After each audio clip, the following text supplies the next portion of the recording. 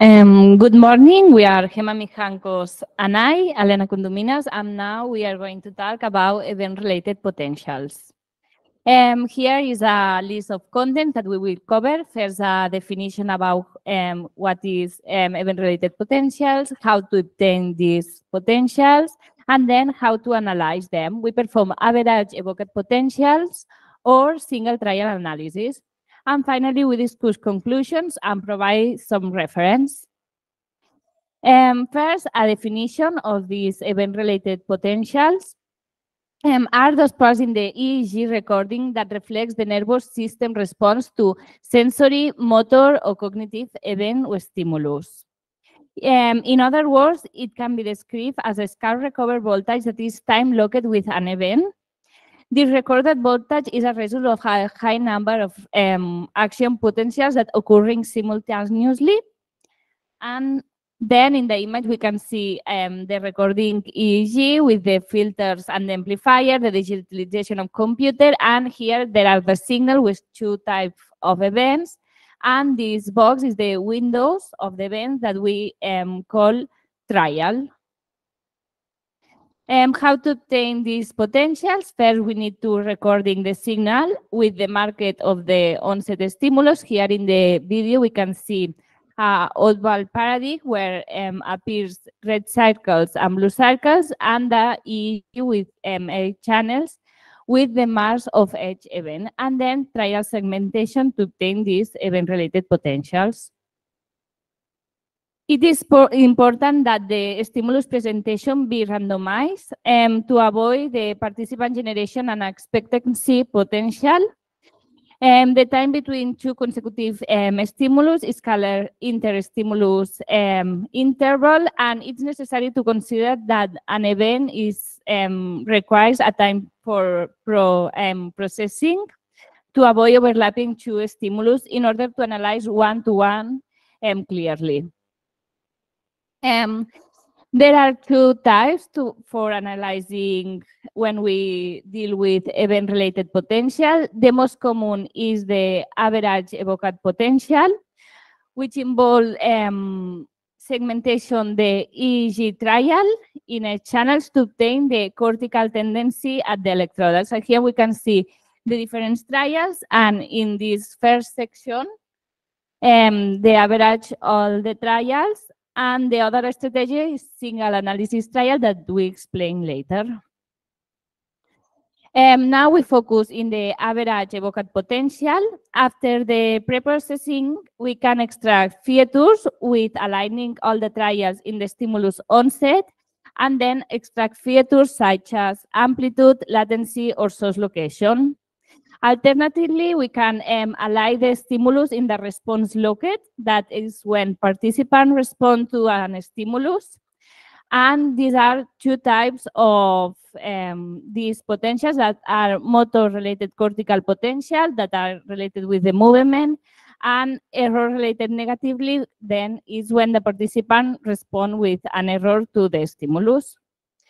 Another strategy for analysis these potentials are filter bank. Um, these allow us to observe the signal in different narrow um, frequency bands in time domain. And here in the image, we can see, for example, um, three signals in different bandpass filters in gamma, mu, and beta bands, but in time domain. And there are in this um, type of analysis, there are the event-related desynchronization and synchronization. And possible applications of this analysis are BCI, um, brain-computer interface, rehabilitation, and clustering. And here there are an example of BCI experiments that use the amplitude of these potentials and BCI motor imagery that use this event-related desynchronization and synchronization. Um, the EEG signal is a lower amplitude and noise um, during the recording and affect the visualization of these events. Um, however, when we average these, um, these potentials, the tendency becomes clear and the noise, if it's random and the background activity, um, is attenuated. And here in the image, we can see a single trial, then the average of 10 trials, 20, 30, 40, and 50 trials. And that um, the last three plots are more or less similar and there are not um, changed a lot. And the averaging and change the common brain activity across the trials. Um, one question is how many trials are necessary. Um, there is not a conventional number of trials, depend of the potential of interest, and not all the stimulus generate the same um, trial shape and amplitude, but the minimum number oscillate between 8 to 30 trials. Um, a large number of trials have um, its pros, such as reduction the signal noise ratio and better quality of the event-related potential, but there are um, some drawbacks that is the fatigue when the subject make the cognitive task or respond to the events and negative impact to the task performed. Um, here we can see um, some with different 10, 20, 30, 40, and more than 200 trials um, in this plot.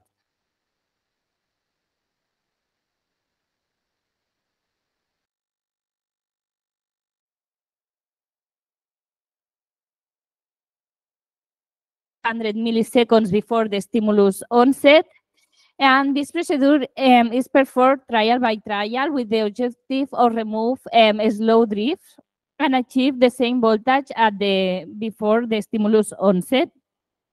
And here in the image, we can see the blue line that is without this baseline correction and the signal is shift upward. And in orange, the with the correction, um, baseline correction that is aligned to zero. Um, the potentials are named based on their polarity and the latency. They are labeled with the P or N depending of the polarity, P positive and N um, negative, and the latency, um, the number that appear, appears the stimulus after the stimulus onset. Here in the image, for example, you can see N1, that is the negative peak because the axes are um, reward. The negative is up and the positive is down. And one because appears one millisecond, 100 millisecond after the stimulus. In some case, there are potentials that are very common and they are related with a cognitive task that have that have this that have ah, vale. Um, that have the um, particular names such as error related negativity or no go and two in no go go task. Um, there are three different ways to represent the average evoked potentials. The first one is butterfly plot when we can see all the average in each channel. Here, um, each row is a, well, each line is a channel. But um, we can um, also represent in a single um, electrode or in a region of interest, that is the mean of um, nearby channels in a single plot as we can see here. And another approach is plot um, with a select uh, windows. We calculate the mean in a certain point in a channel and plot and make this topographic plot. And we can classify the event-related potential based in the nature of these potentials. The exogenous time is an early wave that appears before 100 milliseconds and depend of the physical properties of the stimulus. It is consequence of stimulus um, processing and it can be used by a test of integrity of subcortical sensory pathways. It's like a reflex and an example is um, N100 that appears when the stimulus is presented. The other types of event-related potentials are endogenous, that is a late um, wave that appearing when we have to processing an stimulus and is um, related with a control brain processing. And here an example is the P3 that is a visual stimulus that involving um, processing this information. Um, in this table, there are information about event-related potentials. The second column is um, the location of these um, potentials, and the third column is the brain um, function that are related. And there are here the reference that we can um, find in the QR. And an example is N100 that, as we say, is exogenous potential located in the auditory cortex and frontal cortex and is um, related with the um, attention.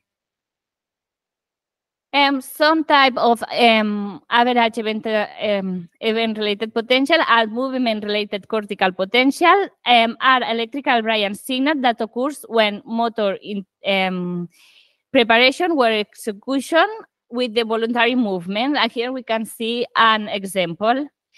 Um, they are characterized by the maximum amplitude and this potential and the onset of the wave. Here, um, the onset is when the subject um, start the movement, but we can see that um, this potential appears 1.52 seconds before and after the movement. And another type of average event-related potential is sensory motor rhythms. In this case, we use the filter bank to analyze this and we observe it in time domain. Um, it is observed also before and after the movement and during, and here we can see onset when start the movement and offset when um, finish the movement, and they are delimited in a narrow band of frequency. Here, um, the first plot is with mu band, and the second with beta. And they are called um, event-related desynchronization when decrease the power frequency and event-related synchronization when this increase this um, range of frequency. Okay. Um, now that Elena has explained us um, how to obtain the average evoked potentials, I'm going to present some of the examples in the literature. For instance, here Arjona et al. Uh, performed an auditory n-back test with 50 patients of schizophrenia. It consists on uh, three different conditions. The first one is the zero back, where the subject were presented a target sound, and they have to indicate whether or not the hearing, the sound that they were hearing at the present stimulus is the same as this target.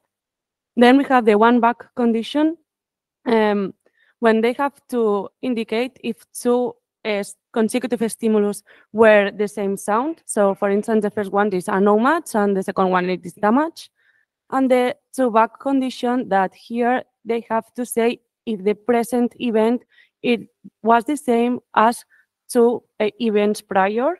So the first one will be a match and the second one it is not a match. The first condition is like an oddball task and the two the one back and the two back required working memory demand and attentional load, which was um, the objective of this study. So one of the results that they get, it was that the in uh, N100, the amplitude increases from zero to one back condition, and it was significantly larger in healthy controls compared to the schizophrenia patients, which supports that higher task additional load increases N100 amplitude. And regarding the P300, they show, well, they obtain a reduced amplitude in schizophrenia during the zero back condition, probably reflecting the attentional and work memory impairments that this population has. Another example is this study from Railo et al., where they presented two different phonemes, one being Estonian and the other one Finnish, and they were presented to a Finnish population. So uh, one of them was a foreign phoneme that they do not know, and the other one was uh, one phoneme that they know. And they had to repeat the phoneme. And they use the average evoked potentials in the auditory cortex to study how the pronunciation may change and how they learn to these new phonemes. So uh, they do not find difference in N100 because, well, it's an, as Elena said, it's an exogenous wave, so they all um, even though it was a native of phoneme, they um, respond to this stimulus. And they do not find also difference in P200, which is an endogenous wave because uh, in this part, they um, the subject decide if it's a phoneme that they know or they do not know, but they do find uh, differences in the late slow wave, which appears a few milliseconds before the P200. And it was associated with the, well, this late slow wave was modulated by the pronunciation of the foreign phonemes, and they saw a change paralleling the better pronunciation. So they conclude that the late slow wave uh, might reflect higher order monitoring process that indicate successful pronunciation and help learn novel phonemes. We can also use the average evoked potentials in BCI applications. For instance, here, Blankertz et al. perform a, um, a BCI in, in, order to write down words. So the first um, interface will be the one that we have different uh, letters in one circle. These circles will be flickering at different times, and the patient, the subject has to focus on the circle that contains the letter that they want to uh, write down. And when the algorithm know which in which circle the letter that they want to write down is, they present the second interface where in each circle we have just one letter and the procedure is the same. The patient, the subject has to focus on this circle that uh, the letter that they want to write down appears.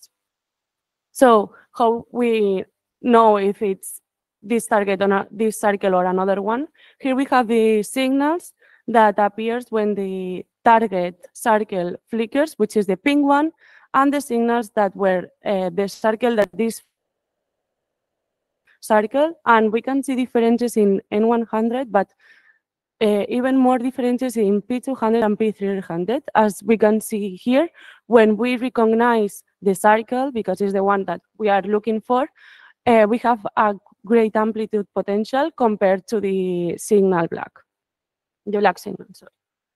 Then we can also apply common spatial patterns. CSP is a technique that involves the usage of spatial filters to extract features from multi-channel signals. And its goal is to find a set of spatial filters that can differentiate between two type of classes um, based on their covariant matrices. So we have a sliding time window, and in this time window, we perform a filter bank. So we filter the signal in different frequency bands. Um, for instance, uh, a typical CSP analysis is in the EEG data that it might be divided into two classes. One class representing a task-related cognitive um, state and the other the baseline or noise state. So the CSP method will find a set of spatial weights that maximally discriminate between these two classes. And one advantage against LDA is that the CSP does not take into account uh, the mean of the classes. So CSP is uh, good in separating the signal uh, from noise in an event related potential because uh, it is highly likely that both noise and the RP will have a, a zero value mean. And it is also applied in BCIs, uh, usually for motor imagery. Here you have an example of how they have implemented the CSP into this BCI. So first we have the signal, then the CSP, and then we, uh, with a classification, we made a, a, um, sorry, uh, the decision, sorry. Uh, so with that, we will finish the average evoked potential and we can move on to the next strategy, which is the single trial analysis. The main difference is that we will evaluate and extract features for each trial, not from an average of them. Usually is the time frequency analysis, so we can see how the power frequencies varies throughout time. And well, um, although the averaging it, uh, it has been the mainstay of many researchers, it has some disadvantages that can be overcome with a single trial. For instance, when we average, we can obscure important individual, sorry, individual um, differences or subtle differences.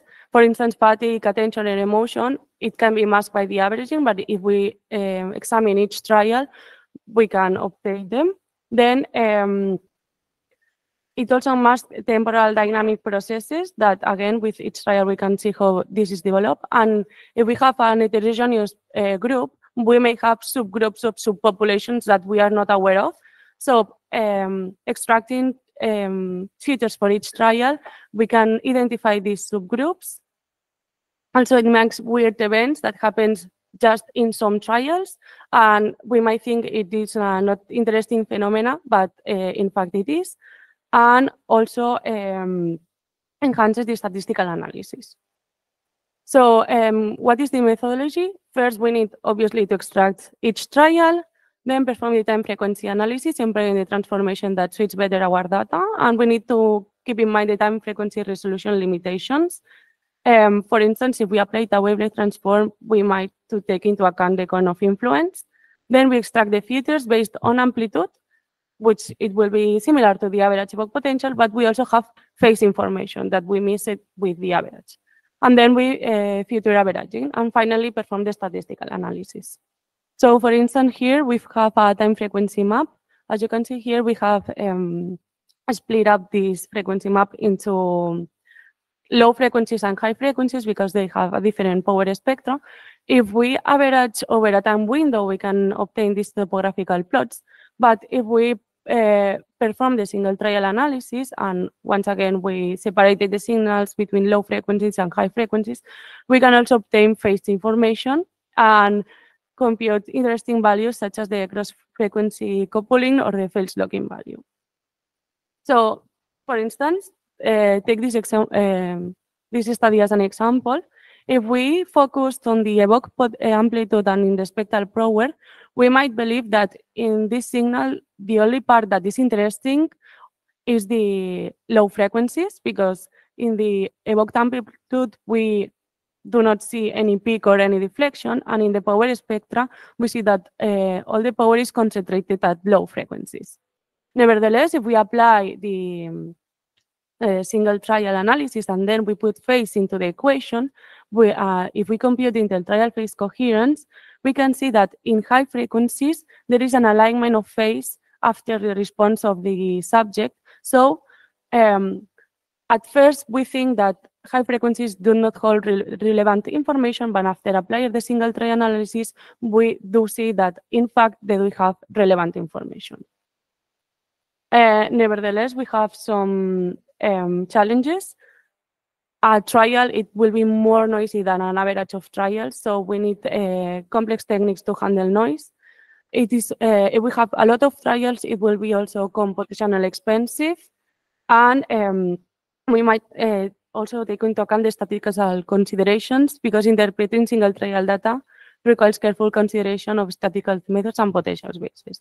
So finally, uh, if we, well, the decision to apply or not the single trial analysis will be based on our uh, research question, on our type of data, and also on our available means. Apart from the things that we have explained, we also have, uh, we can use single trial analysis in node and edge definition, graph generation, and network analysis.